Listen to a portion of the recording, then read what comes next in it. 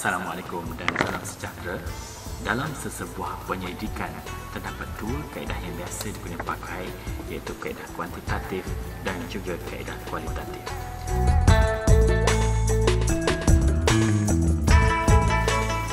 Dalam video ini, saya akan membincangkan perbezaan antara kajian kuantitatif dan juga kualitatif. Terdapat sembilan aspek yang akan saya kaji. Yang pertama adalah kaedah penyelidikan, yang kedua ialah konsep utama, yang ketiga ialah sudut bidang yang ingin dikaji oleh penyelidik, yang keempat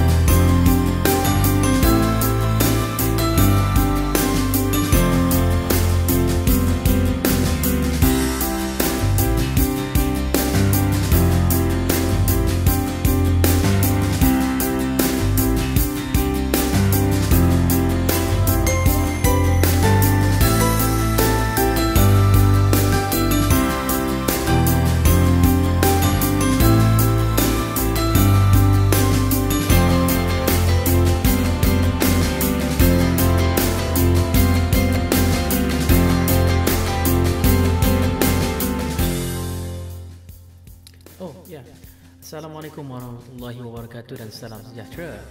Uh, bertemu lagi kita dalam rancangan uh, Dr. Hafiz Explains dan saya ingin menyatakan rasa gembiranya saya kepada anda kerana anda telah uh, berjaya menempuh uh, program orientasi sekolah dan juga makro pengajaran yang pertama sewaktu uh, cuti uh, mid-sem yang lepas hari itu.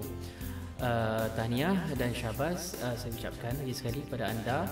Uh, dan seperti yang kita sudah dengar dalam sesi uh, kelas yang sebelum ini macam-macam jenis um, cerita yang yang yang kita dapat dengar yang berlaku uh, kepada diri anda dan juga kepada uh, kawan-kawan. Macam-macam jenis program pihak sekolah uh, kepada dalam kelas So macam-macam jenis cerita di situ. Jadi uh, susulan daripada itu apa yang saya nak anda buat adalah sebuah video log ataupun lebih dikenali ramai sebagai vlog. Vlog ni uh, formatnya santai.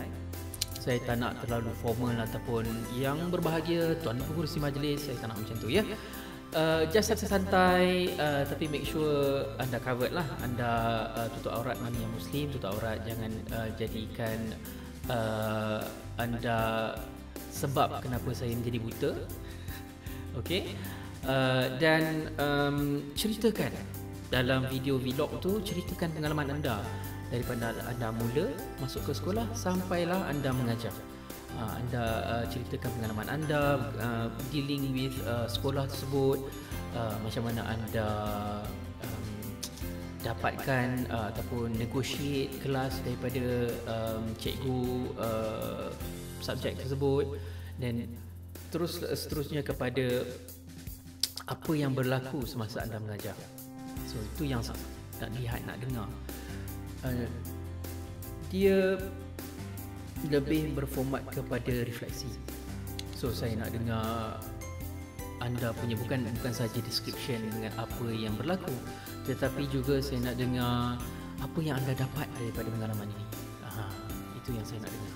So uh, saya tak set durasi video tu berapa uh, berapa lama panjang yang anda nak uh, ambil. Uh, itu terpulang pada anda uh, terpulang pada keselesaan anda. Apa yang terbuku di dalam hati ceritakan ceritakan supaya kita tahu pengalaman setiap seorang pengalaman tak tak sama.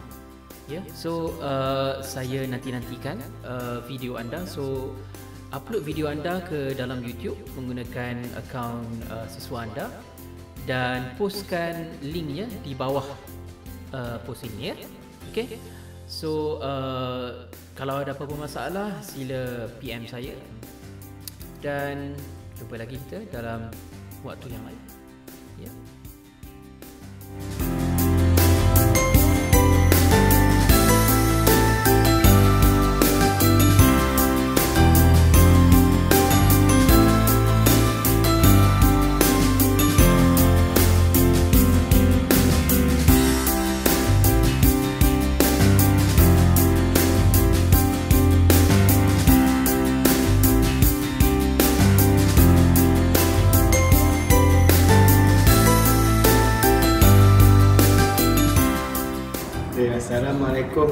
Salam sejahtera. Ya, saya Abdul Hadi Meramli merupakan pelajar tahun 3 semester 3 semester 6 dari uh, Universiti Pendidikan Sultan Idris yang juga pelajar uh, pengajaran teknologi dan penasiran 2 KPD 2 di bawah Dr. Hafiz. Uh, telah berjaya melakukan makro teaching ataupun post program orientasi sekolah.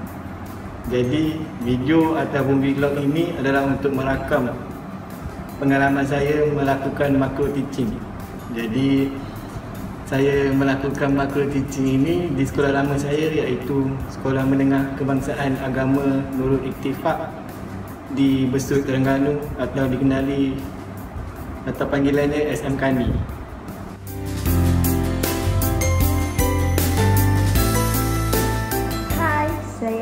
Veron. Okey, di sini saya akan ingin ceritakan pengalaman saya semasa saya membuat pos di sekolah.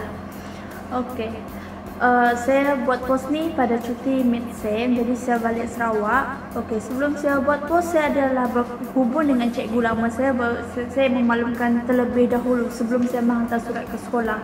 Saya berkata cikgu lama saya, uh, itu cikgu sejarah saya sendiri saya cakap lah saya nak buat pos jadi dia cakap dia okey selagi pun dia dah cakap dengan pengetua pengetua pun cakap okey pergi je ke sekolah bawa surat. Okey saya balik ke Sarawak pada hari Ahad cuti semester. Lepas tu hari Isnin tu saya pergi ke sekolah. Uh, bila saya pergi ke sekolah hari Isnin tu menyiapkan kaki ke sekolah lama dah lama tak jejak kaki saya rasa agak janggal malu semua ada lah. Dan lebih-lebih lagi kebanyakan cikgu baru cikgu lama kebanyakan dah pindah lah kan. Jadi saya rasa macam agak janggal lah bila nak berkomunikasi dengan cikgu baru saya. Okey, uh, saya datang pada masa tu pada waktu rehat. Sebabkan cikgu saya cakap dia ada banyak kelas yang pagi itu saya, saya tak nak juga tunggu lama kan. Jadi saya cakap